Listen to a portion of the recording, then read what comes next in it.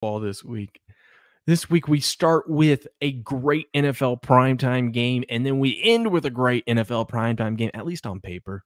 And I don't think they're going to disappoint. So we start off. We got the Bengals and the Ravens. Ravens three and a half point favorites with sharp money and big money back in the Ravens here. 25% of the bets, 55% of the money on the Ravens. Bengals need a win here, not only just to keep the season going and, and, and avoiding losing two in a row. Same with the Ravens.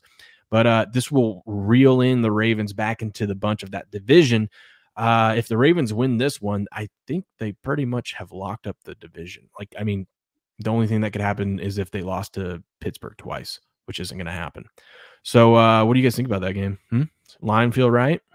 Hmm? Hmm? We're going to take the three and a half of the Bengals. Yeah, I think I would.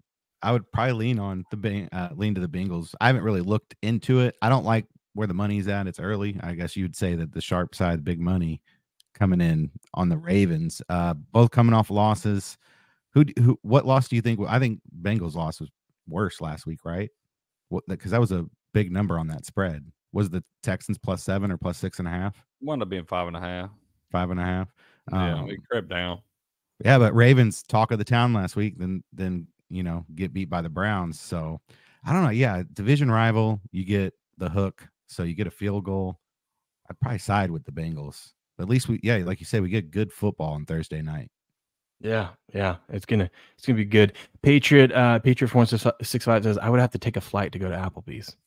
It'd be well worth it, man. It'd be well worth it. Half off apps, good Half beer. Pissy says I only got to drive. I, I only go there and get appetizers because I love ordering every single appetizer on the menu when it's half off apps, and just them bringing a ton of different food and then feeling like shit later because I ate Applebee's appetizers. It's great. Look at all Buku says Bo Nix's age should disqualify him. If you're over 30, you shouldn't be able to win the hey, hey, hey, hey, hey, now. I agree. Not when we got money on him. Not when we got money on him.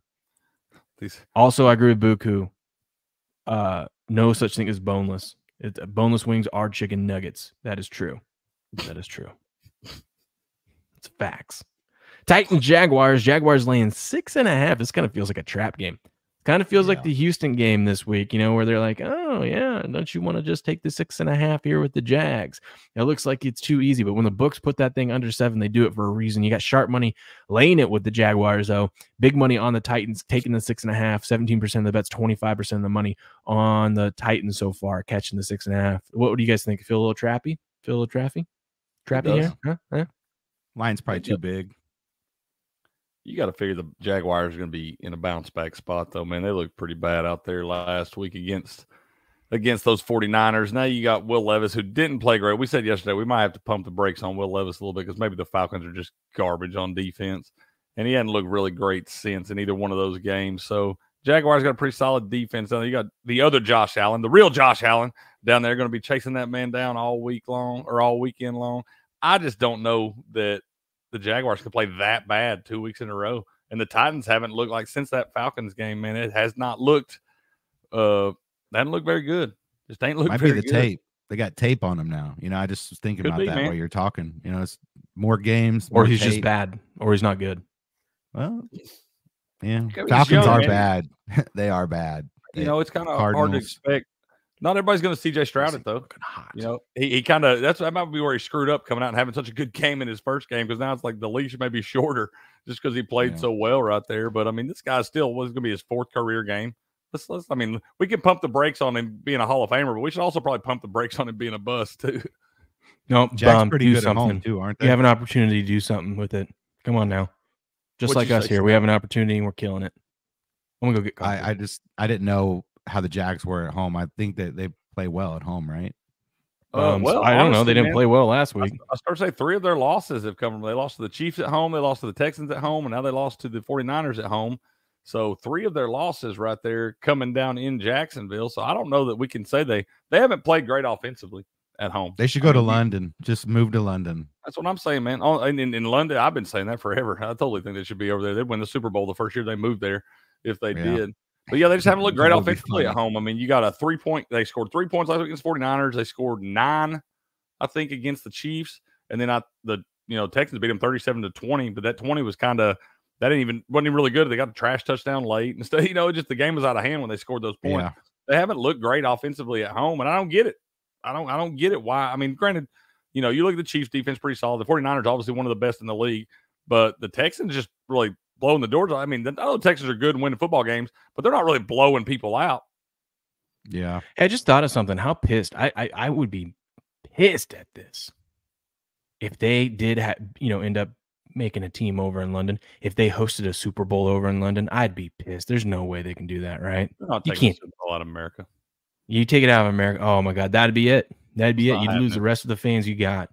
You eh, they, they would lose so much money doing that. Yeah. So much. That ain't money. happening. You'd have people pissed off like you that wouldn't even watch the shit. Now you would get playoff games. You know, you could get an A or a you know a I'm fine with I'm fine with a playoff game. Yeah, That's I'm right. fine with that. Just not the big game. I don't know about the AFC Championship game or NFC. Yeah, it would be AFC Championship game. I don't know about that, but I don't You'd know, have man. to If if you, you'd I mean, a you don't home really have a choice there. If you mm-hmm. win it, if you win the opportunity, and it's at, if that's where you're playing at, and you win the opportunity, yeah, you play it at your home field. So if you do talk that, about would there be a bigger home field advantage?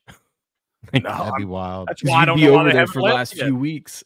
I can't figure out for the life of me why they're not there already. That should be a trivia question. Who's the only team in the NFL that doesn't have a home game? The Jags, because their home is in London. How do you think they'd do in free agency, being you know across the pond there? They'd have to convince people to move to a different country to play. The for 'em. contracts are so damn big now, Steps. If you were paying me doesn't millions of dollars, I would go live over there for six months of the year. and a chance to win a ring. What if it was Germany? I mean, Yeah. I don't know. Everybody's money's green. Yeah, yeah. I don't care. So, They got some cool beers. That'd be great. mo- money. Money talks, man. Money talks. I mean, I'm not saying got I don't know. I think it'd be harder for a team. There's not really, you know, the Jaguars have been London's team for pretty much as long as we've been doing this. There's not really anybody that's Germany's team yet. We've only played what four games over there in the history of the NFL. But the London thing, that seems maybe way more feasible to me. MSCPU says, nah, Florida needed two more football teams. Yeah, that's right. Yeah, right, right. Yeah, yeah. They didn't have enough going on down there. Florida. them. uh, Chargers, Packers. Feels like the Packers are finally getting priced right here. You got sharp money and big money on the Packers, catching three and a half at home against the Chargers. 14% of the bets, 25% of the money on those Packers, catching three and a half. Can you trust the Chargers? No. Can you trust the Chargers on the road? No. Can you trust the Chargers on the road as three as favorites? No. This is all weird. it's I'm, I'm looking at these lines and I'm kind of like, man, this might be a tough week here. There's a lot of This lines. one's weird for me. Dude, I told you there's five double digit lines. It's, uh, this this week feels like everything's kind of priced right, and you've got to be sharp. seen, or like, you, I've seen four games already where I'm just like, oh, I love that. And then all of a sudden I look at the side, I'm like, well, wait a minute. Let me just pump the brakes for a second. That's if it's that easy, I probably need to go the other way. Yeah, yeah. Okay. Giants, Commandos, command, dude. The Commanders laying ten. The Commanders shouldn't be laying ten to anyone, but I get it. I guess it makes sense. I I, I don't feel good taking. God I don't feel good taking ten with the Giants. Sharp Listen, money on the Commandos, big money on the Giants here, with ninety three percent of the money on the Giants catching the ten. Yeah, I'm taking Giants ten. I, as ugly as it is, I think I am too, man. I was about to say that, too many points. that division, this team just played two weeks ago in a three point game. Exactly. You know, Dan, Danny Dimes didn't play in that game either, right? yeah, you know, I know that they've got injury and all that stuff, but they still got Saquon out there. I think 10 in this division. You don't see this division just unless the Giants. Yeah, but the Giant the, the But the- Giants didn't have the number two overall pick at that point. Yeah, but the com- uh, I mean, I don't know. The Cam- Commanders are playing much better too. Just take the under. Just take the under. and Be done with it. Take the Giants. Taking first half under, that's for sure. Commanders coming back from the, the West Coast. Hmm? Hmm? See. Yeah. Another double digit game. Dolphins laying 11 and a half to 12 and a half, depending what it is against the Raiders, the red hot Raiders. Oh man. What are we thinking, boys? Two two a time, two coming off a bye. Want to put up some points, getting the MVP race, huh? Huh? Tyreek trying to break 2,000 yards. What do we think? I don't know, man. This is a weird one too. They've won two in a row now. They're kind of rejuvenated. Got the new head coach out there.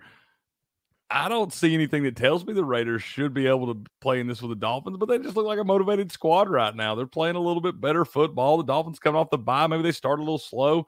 I don't know. It's weird to say, but I might look at the under in this thing. It's sitting on 48. Slow, please. Come on now. Huh? Starting to slide. They've done it before, man. They've done it before. and the Raiders got a decent defense. Maxx Crosby gonna be. What if Maxx Crosby rips to his head off the first series?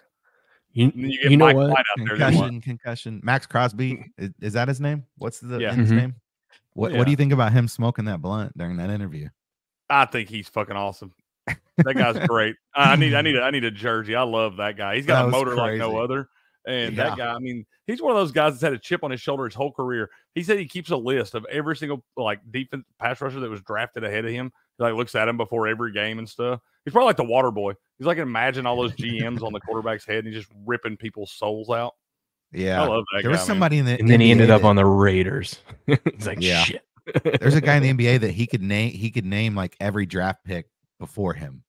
Eh, I don't remember who that was. I think it's I think it's Mostert. Mostert or D'Andre Swift. It's one. I think it's Mostert. oh, oh, it was Because I, NFL. I, Yeah, 'cause I yeah, saw yeah, that. It was like, uh, yeah, he had like it's like six running backs or something that were drafted ahead of him or something like that, and he has that list Oh, saved in the notes. In It was phone. uh St. Brown. St. Oh, Brown. Amon Ra? Brother- yeah, yes, okay. I I know. I heard that too, man. The, the- like the, every like for every game they read their notes in their phone. It's like okay, Yeah. well, whatever you got to do to motivate yourself, bro. That's right. You know what? I never thought I'd catch myself saying in my lifetime, but uh, here, here we are. I'm excited to watch a Cardinals and a Texas game. I think this is probably one of the most interesting games of the week. You got the Texans, who it feels weird to see them as favorites, but they're they're just lighting things up, man. This is a fun squad to watch. Can CJ Stroud keep it up? I'm gonna probably have to get a Stroud jersey when he cashes his Rookie of the Year pick and my MVP ticket that I got on him now at You 33 better. to one. Sharp money and big money on. I did. I bet him the other day after we No, talked about it. you I bet better you better get a, a jersey. You better buy two. You better have one in every color, man. I probably will. All right, and one that has MVP on it too, right? That's But then you got Kyler Murray and the Cardinals back. That they look like an exciting bunch. They're playing tough. I mean, I don't think this line is wrong. I think it's where it should be. But uh, it uh, it's it's just it. I think it's going to be actually interesting, fun game. I don't know. It- What do you guys think? Isn't it funny? As much shit as we talk about Kyler Murray, how he instantly makes the Cardinals so much better to watch. I have never said a damn thing bad about him. Mm-mm, not when he's Whatever. winning. He- okay, well then he's fine. I've been- I've been undefeated this season. Talking all this shit. He's He the only quarterback that hasn't stuff. lost this season. I'll sit here and talk all that shit. Get your sports bra off, man. But I can't help it when that man's on the field. he instantly becomes makes the Cardinals kind of must see TV right there because I don't know what the guy's going to do. He's liable to backyard Oh. football. He'll run 86 yards to get 10. By the way, let's pause this for a second.